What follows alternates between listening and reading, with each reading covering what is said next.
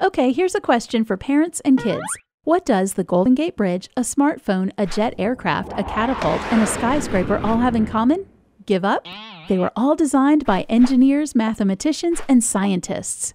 Engineers have been designing and building bridges for thousands of years to help people travel quicker and more efficiently. And you know what? Those civil engineers had fun figuring out how to construct those massive marvels.